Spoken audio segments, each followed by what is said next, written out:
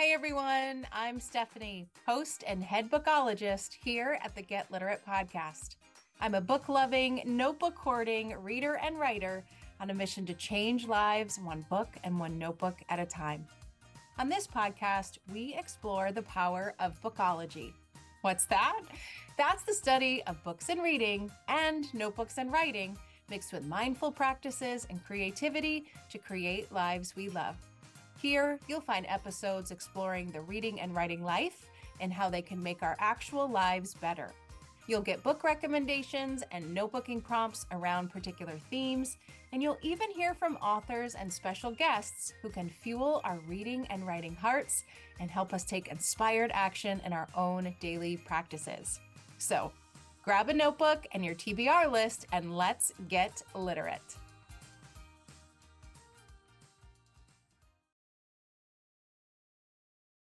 Hey everyone, welcome back to another episode of the Get Literate podcast. I'm Stephanie, and I'm here today to talk to you about something that I don't currently do very well in my reading life that I want to. So, right now, in this current season of fall 2024, I am participating in two book relays. If you don't know what a book relay is, it's basically a group of people who have decided to pass books back and forth over a specific period of time and leave tracks of their thinking in the book so that we could have a collaborative sort of book club experience without ever meeting in person or at all. It's just this fun way to get some book snail mail and to read collaboratively in a community in a very different way. One of my book relays is an extension of the series of summer workshops I did at Wiawaka House in Lake George, New York. We didn't want those to stop, so we are passing one book from person to person to person to keep those bookish connections going all year long. And the second book relay I'm in is part of my Get Literate Patreon book relay. And that one's a little bit bigger. That is a group of us who have each chosen their own book that they want to read and pass along.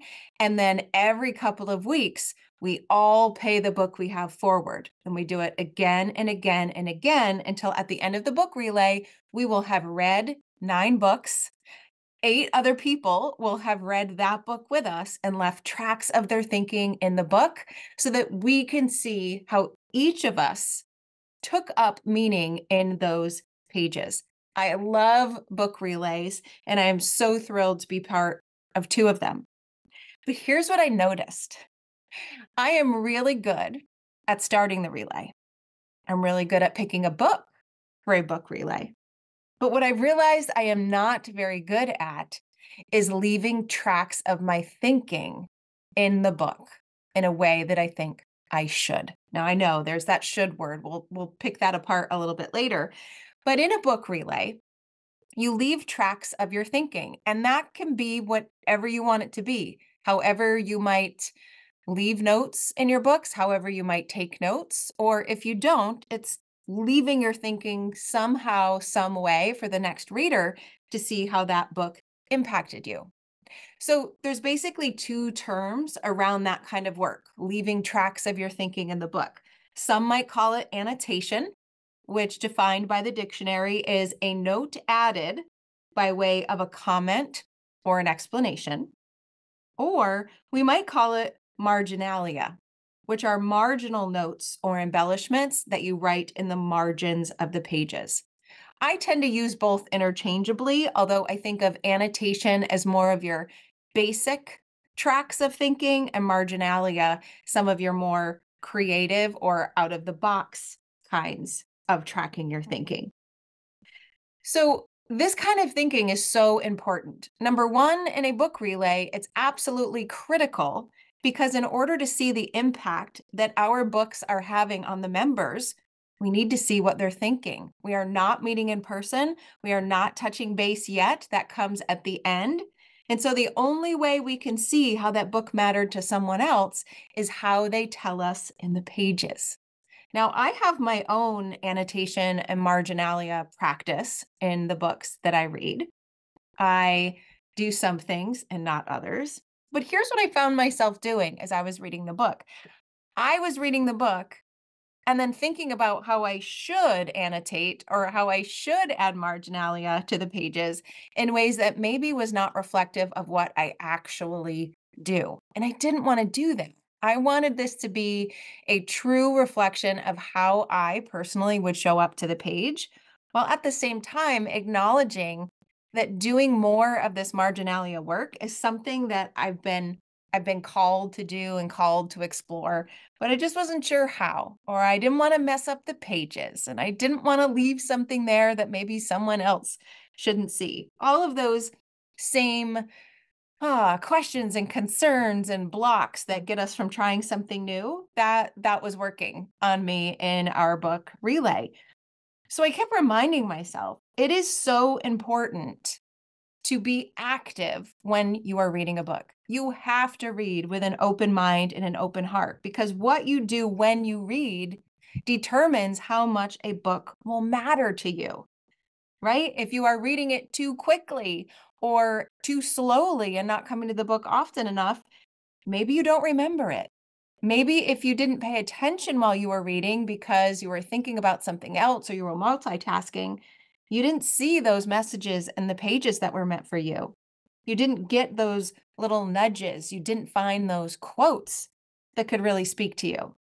So I truly believe what we do before, during, and after a book to keep us active in the experience, it matters to how the book will make a difference in our actual lives. And so that's why I wanted to talk about it with you today. I wanted to share a couple of easy practices that you could try when you are reading to make your reading experience more active and therefore more powerful. And I also wanted to hold myself accountable a bit because I'm saying publicly, I want to try doing something different in my annotation. And when you say it out loud and you have people who might expect that thing to be different when the book comes to them, well, then I have a better chance of doing that thing. So I want to share five ways that you can experiment with annotation and marginalia in the books you're reading to make yourself more active in the experience, to read with an open mind and heart, so that the book can make a difference in your actual life. So I want to start with the things that I do and then move into the things that I don't. So, what is the first thing that I do when I read? And this is something I have done forever and I enjoy very, very much. It comes naturally to me. I do not read a book without a sticky note flag or a pack of book darts close by. I have not read a book without those two things in arm's reach in a very long time because I know if I'm holding the sticky note in my hand, if I have one of those book darts in between my fingers, I'm going to read with the expectation that something is going to jump off the page and it's going to matter to me. And if it's going to jump off the page and matter, I want to mark it somehow. So I might not be writing, I might not be thinking through or reflecting on that page why that part's jumping out at me. I simply want to note those sections that are. Sometimes I will go back to them. And if they are quotes I want to hold on to, I will put them in my quote journal. If they are things that are just making me think in a good way or uh, a more frustrating way, right? Books bring up all sorts of things. Then I might bring that to my morning page notebook and journal about it. But basically, the sticky note flags and the book darts, they are placeholders so that I can see that when I read that book, that thing jumped out at me. I'm not necessarily noting why, but I'm just noting that it's there. Now, the second thing that I do, and you could do too, right? So I'm sharing what I'm doing in hopes that if you don't do it, you'll give it a try. The second thing that I do is use larger sticky notes. I have a whole collection of sticky notes that I use for all sorts of things. But I like using larger sticky notes when I know I want to say more about the piece of the book that got me thinking. So if I just put a, a flag or a dart in it, it means I just want to know it spoke to me and I'm good to keep reading. But if it's really sticking with me, if it's something that I want to comment on, if I need to question, if I need to jot down a reminder to myself or just write something else to give that place more context, that's when I get out my larger sticky notes. I've got those little yellow ones and I have some of those bigger, colorful, square ones. And I even have some of those translucent ones. Those ones are really cool because you can take one of those translucent stickies, stick it right in the book where you're having this thought and write on the sticky note so that the words themselves, you can see through that sticky note to see what they are. And you can jot down a little bit of thinking on the sticky note as well. So I go back and forth between what's available or what I want to use. But the idea is that a simple sticky note can show how you're layering your thinking with the thinking of the book. It's a quick sentence, a quick bullet, a phrase, a question, a reminder. Um, it could even be an image of something. It can be whatever you want, but it takes it a step further from the dart, the book dart, or the sticky flag, and it layers your thinking on to the page. I am really, really good at doing both of those things. I'm also really good at doing both of those things and then transferring them to my quote notebook or my journal in some way. But honestly, that's where my annotation a marginalia, it stops. That is my groove. That's my happy place when I'm reading, but I I do still have a nudge, right? When I scroll social media and I see people who have really been creative or thoughtful and intentional around the marginalia they put in their books, I get that little hit of envy. I get that little pang of jealousy of, oh, I wish I could do that.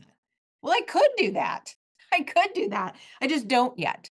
And so I want to talk about three other ways that you could add to your marginalia and annotation practice, like I am trying to do. So, hopefully, in the next couple of books that get passed through this book relay, you will see evidence of my growth as an annotator.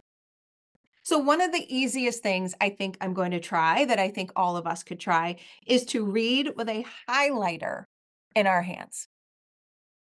Read with a highlighter in your hands. And you might be thinking, Stephanie, that really is not such a big deal. Highlighting something in a book, that's not really, you know, grand scale marginalia here. But for me, that is going to take a Herculean feat of effort. I don't know why, but in my fiction books, in the books that I read for personal reasons, I should say, I don't physically mark the pages. And I don't know why, because in my professional world, I mark them up all over the place. I mark them up, I fold their their corners. I do all sorts of things in those books that I just don't do in the books that I read personally. And I'm trying to think about why. Number 1, it's because I tend to borrow many books. And so I don't want to ruin that book and and pass it along to the next reader all marked up. Although, as a reader, I love when that happens because I can see what someone else thought. I also think maybe it's a form of respect that I don't want to graffiti the book, so to speak, that this author put their heart and soul into. I don't want to graffiti it with my words.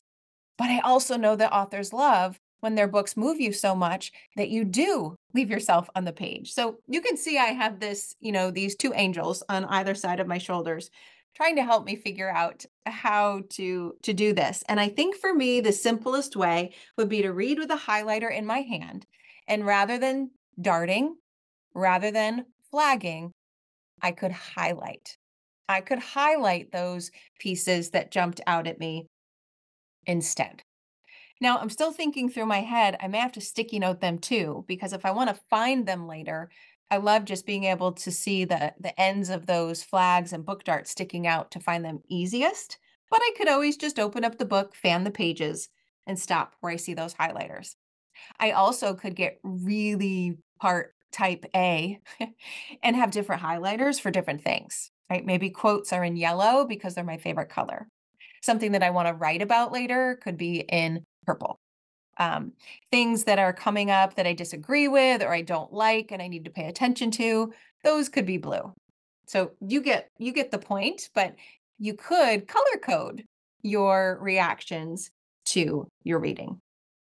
Okay, next up is to actually do some writing in the margins.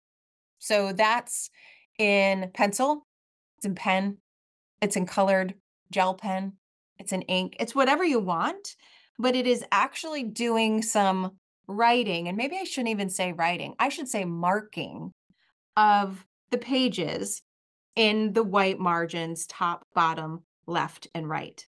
Now, what could we put there? When I do use notations, I tend to do a couple of things. I tend to bracket things on the end of the lines if there was something in there I want to pay attention to. So I'll put a bracket on the left and right side of the margin to show that this made me stop and think. Sometimes I underline key phrases, words, entire sentences that are are mattering to me. I might put a little star at the end of a line to show that's important. I could use other symbols like a question mark if I'm either grappling with the content or I literally have a question that I wish I could ask the author. Um, sometimes I'm jotting down thoughts right there was um, there was a quote in one of the book relay books that i was reading about a woman who was dealing with a particular challenge and i just happened to write on the post-it note you know oh my gosh i can relate that's something i could easily just put into the margins. So you could put your thoughts, you could put important notes or ideas that are coming up to you, you could put the themes that are coming up on the page, the actions perhaps you want to take from the book, any nudges that you're feeling, the questions you have. Maybe you're rewriting a quote in the margin to make sure it stands out. Maybe you're sketching, maybe you're doodling, maybe you're drawing right? You're basically putting these little notes to self. And I think that's the phrase I'm going to use to make it more personal and easier for me to do this, right? It's not fancy annotation or marginalia, even though I love saying that word. It's basically just a note to self. And if I happen to pass the book on to someone else, well, I have to remind myself that I love seeing those in other people's books. Maybe they will too. Or I just give them a warning that I have left tracks of my own thinking in the books. And do they still want it? Now, you could also jot down some things on the inside cover or the back of the book. I learned this from Modern Mrs. Darcy, AKA Anne Bogel, who on the inside cover of the book notes where she got the book, where she was reading it, when she was reading it, why she was reading it. Some of that introductory information to remind us why we felt called to this book. And then in the back cover of the book, she'll jot down things like notes for her online book review, other books that remind her of this book as if she wanted to create a book flight, or people that she might pay the book forward to or at least recommend it to. I've never taken notes like this on the inner and back covers of the books other than to just write my name in it so everyone knows that I was there. And this really appeals to me. I feel like this could be a baby step into marginalia and notes to self on the inner side of the page. So I've got one more. We've talked about reading with sticky note flags or darts. We've talked about reading with larger sticky notes that we write on. Then we made the giant leap to marking up the pages by reading with highlighters or writing with whatever utensil you prefer in the margins. But I want to remind us that there is one other way to do it. And this this was sparked with a conversation I had with a bookish friend who was also talking about her annotation for our book relay. And it's this. Technically by definition, annotation, the marginalia, does happen on the physical pages of the book. But that doesn't mean that that is the only place where that kind of thinking and notes to self can come. Maybe you read with your notebook right next to you. And rather than marking up the book, you are marking up your own personal pages. Right? Maybe you are reading with your Google Keep app open, or your Google Docs app open, or your Remarkable notebook open, and you're jotting down your thoughts there. There is something special, I think, to leaving your thinking literally on the pages of the books that you read. But I also think there's something special and convenient about having one place where you leave your tracks of thinking about the book. It is much easier to scroll through a notebook with all of this to see who you were as a reader at that time and all of the things you wanted to take away from the book. It's easier to do that in a single notebook or a single document than it is to go to your bookshelf and remember where you put that book and then go through and find the tracks of your thinking if you would like. So the fifth option is to do all this work, but perhaps you do it in a separate place and then you just either leave it there or maybe you rip it out of your notebook and you tuck it into the book or you print it and you tuck it into the book. There's no one right way to do these kinds of notes to self as you are reading this kind of annotation or marginalia. You just need to choose something that feels right for you. And then maybe you nudge yourself to be a little bit braver and to do the next step, which is what I am attempting to do. Now, I do want to note one thing. If this is something that you do, or you want to try, or you want to broaden your practice, you need the tools. So, my top recommendation is to create a little pencil pouch. Well, don't create the pencil pouch, get a pencil pouch, get a little basket, a little bin, a little box, whatever little thing appeals to you, and fill it with what you need. I have a little pencil pouch. As I mentioned, my brother and sister in law gave it to me for my birthday. It says, I'm a planner, I plan things. And in there, are my favorite pencils, my favorite purple pens, some sticky flags, some book darts, some bigger sticky notes, and now I will be adding a couple of highlighters as well. And that pencil pouch goes wherever my book goes. So it's often in my purse, right with my book, or I throw it into my work bag, right with my book, so that when I'm reading, I have the tools I need to do this kind of active thinking with the book. Now, if I don't have it, no big deal. I'm still going to read anyway, right? Maybe I come back to it and I I sticky note some places later, or maybe I don't. But I have just found having those tools close by makes this practice easier to make your own. Um, it also makes it a habit. And so this kind of reading just becomes more natural. Now, one last thing before I close the episode.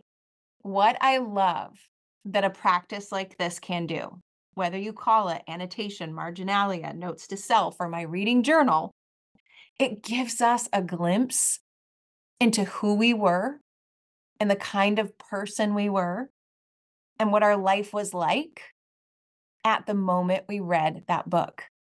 So imagine in five years or 10 years, you're cleaning off your bookshelf and you take out one of your books that you notice has a bunch of book darts and sticky notes in, and you just sit there and you browse it. And you think, what did that past version of me find important?